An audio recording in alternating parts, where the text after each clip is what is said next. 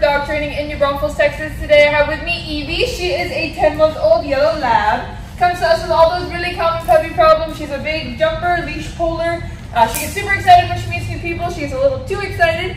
She loves other dogs, so mom wants to get a little bit more uh, control under her for situations where there's a lot going on. She did go through our eight-day board and train program already, so she does should have some basics on her. So let's, see, let's just see what she remembers. Eevee, can you sit? What are you? Oh, you can't hold it though. Can you sit?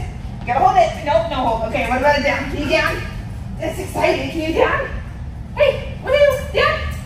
No, no down. All right, let's go for a walk. Can you heel? Come here. Let's heel. Oh, where are you going? You gotta walk. All right, as you can see, Eevee is a little bit all over the place. That's all right though. We'll get her all fixed up in the next 15 days. Keep an eye on her progress as well as